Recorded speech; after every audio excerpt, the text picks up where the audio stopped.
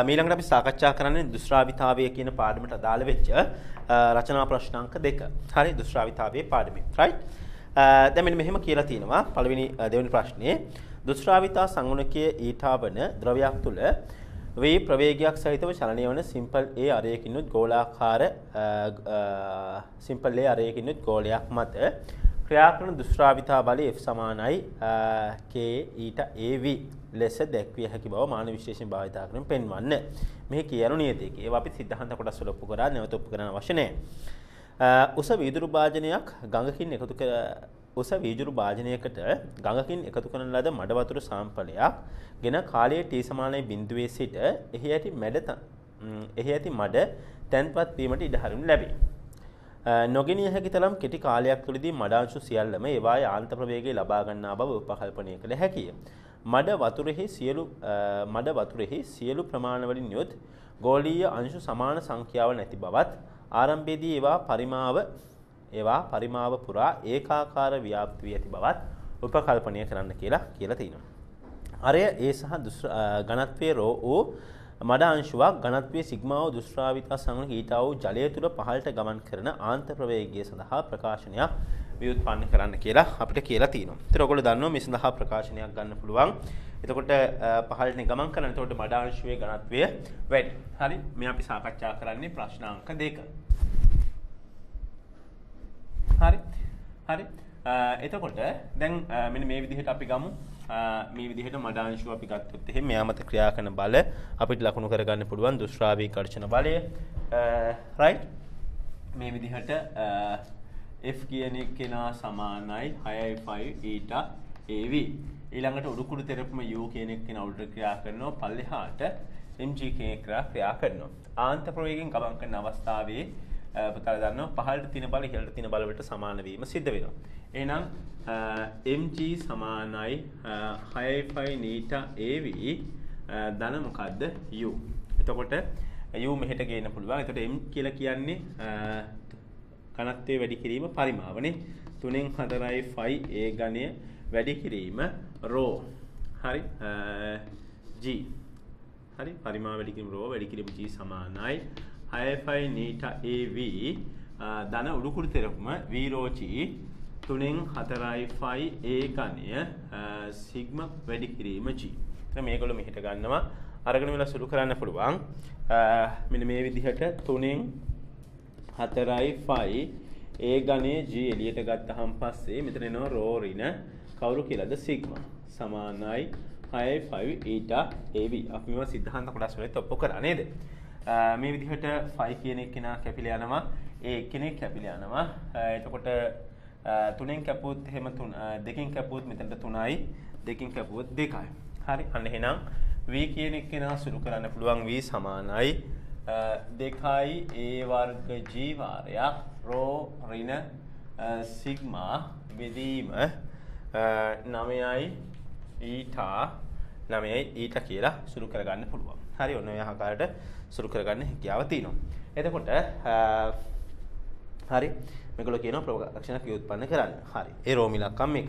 රෝම ඉලක්කම් දෙක කියනවා රෝවල අගය 2500යි සිග්මා 10යි දුෂ්‍රාවිතා සංගුණක ඊටා කියන එක න 8 වැඩි කිරීම ධාරණ 4යි නම් ජලබාධින තුළ 1 මීටර ජලබාධින 1 මීටර නම්ද සිම්පල් A සමානයි. 8 වැඩි කිරීම 10 ඍණ 6යි නේ? 8 වැඩි කිරීම ධාරණ 6යි වන මඩ අංශු සියල්ලම තැන්පත් වීම සඳහා ගත වන කාලය ගණනය කරන්න වාජන තුළ අංශුන් අතර ගැටුම් සිදු නොවේයයි උපකල්පනය කරන්න කියලා අපිට කියලා තියෙනවා. එහෙනම් අපි මේ පළවෙනි කාරණාව තමයි මේ ආන්ත ප්‍රවේගය ගණනය කරගන්න වෙනවා. ආන්ත ප්‍රවේගය v කියන එක නා සමානයි දෙක වැඩි කිරීම අරය කියලා තිබුණේ කොච්චරද 8 වැඩි කිරීම 10 ඍණ 6යි. 8 වැඩි කිරීම 10 ඍණ 6 වර්ගය. වැඩි කිරීම g කියන්නේ 10යි 10යි මෙතන 2500න් කීයද 1000ක් තමයි අඩු කරන්න තියෙන්නේ නේද? ඒකෝට 1500යි 2500න් 1000ක් අඩු කළා මම කෙලින්ම දාන්නම් 1500යි. බෙදීම 9 වැඩි කිරීම ඊටා කියලා කියන්නේ 8 වැඩි කිරීම 10 ඍණ කීයද 4යි. 8 වැඩි කිරීම 10 ඍණ 4යි. ඕක සුළු කරගන්න පුළුවන් සුළු කරාම පස්සේ එනවා 8 බෙදීම 3 වැඩි කිරීම 10 ඍණ 4යි ms ඍණ 1 කියලා. හරි. එතකොට ඔන්න ආකාරයට ගන්න පුළුවන් අන්ත ප්‍රවේගය. අපෙන් අහන්නේ ඒක නෙමෙයි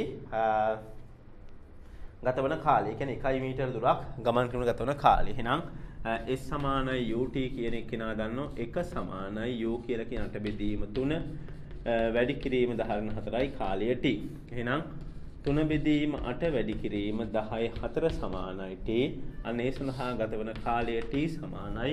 ඔයගොල්ලෝ සුළු කරා නම් 3750යි තප්පර කියලා ගන්න පුළුවන්. 3750යි තප්පර ප්‍රමාණයක් තමයි මේ අංශු ටික තැන්පත් අංශු තැන්පත් වීම සඳහා අංශු පහළට පැමිණීම සඳහා ගතවන කාලය. හරි. එහෙනම් ඔන්න රෝමි ලකම් දෙක සහ එක කියන අදාළ කොටස් දෙක දැන් පැහැදිලිව සටහන් කරගෙන තේරුම් ගන්න පුළුවන්. හරි.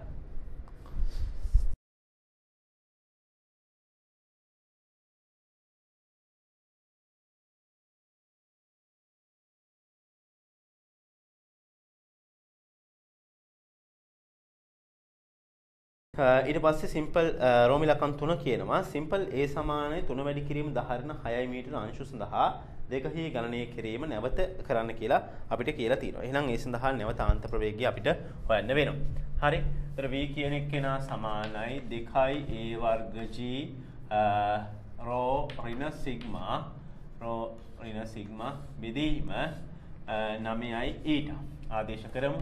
V සමානයි 2 වැඩි කිරීම අරය මේ අවස්ථාවේ කියන්නේ කීයද?